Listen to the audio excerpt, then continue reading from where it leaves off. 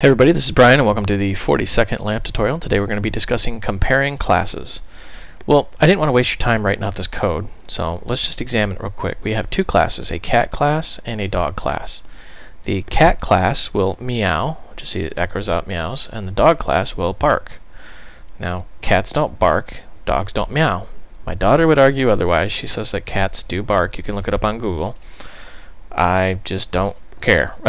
okay, so for the for this tutorial, just do it my way. Now we have an instance of the cat class, an instance of the dog class. It's all fine and dandy until we want to do something like this.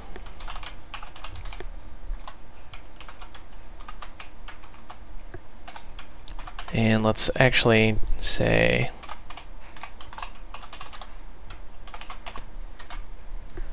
We're making an assumption here. What we're doing in the do meow function is we're assuming that this variable is an instance of the cat class.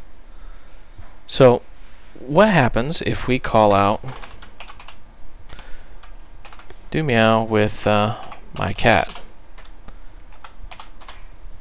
As you guessed, it works just fine. But let's say we goof up and we accidentally throw a dog in there. Nothing happens. Hmm. Well, we have no idea why that didn't work. Now we're stuck going, well, what is the my dog? Is it a dog? Is it a cat? Is it this? Is it that? So what we need is to actually compare the objects. So first thing we're going to do is say,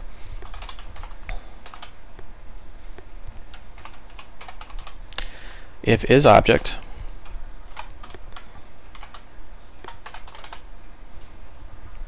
we're just going to echo out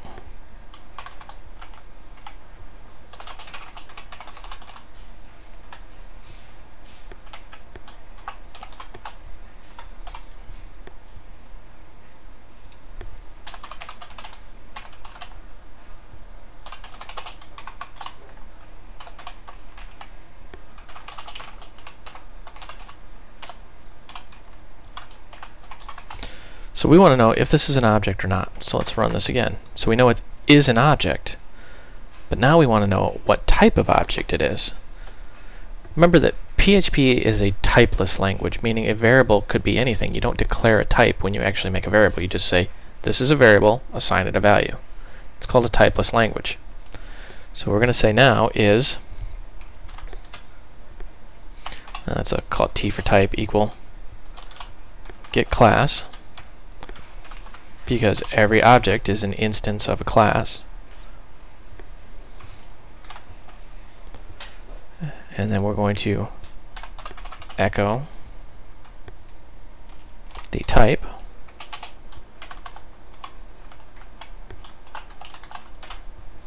So we see it as a dog class. Well, we want a cat class.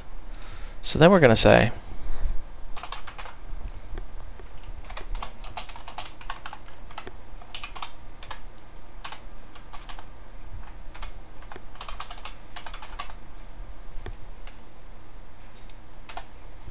very simply.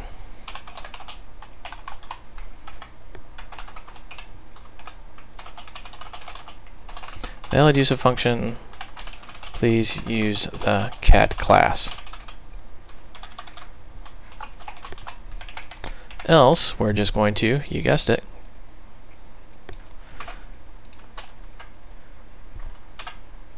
So as we can see, when we run this again, it says it is an object, it's a dog, and it is an invalid use of function. Please use the cat class. Well, let's examine this real quick. We're saying do meow, we're making the assumption this is a specific type.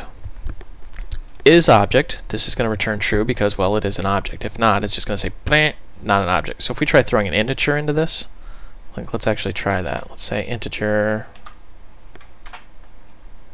not an object, because an integer is not an object.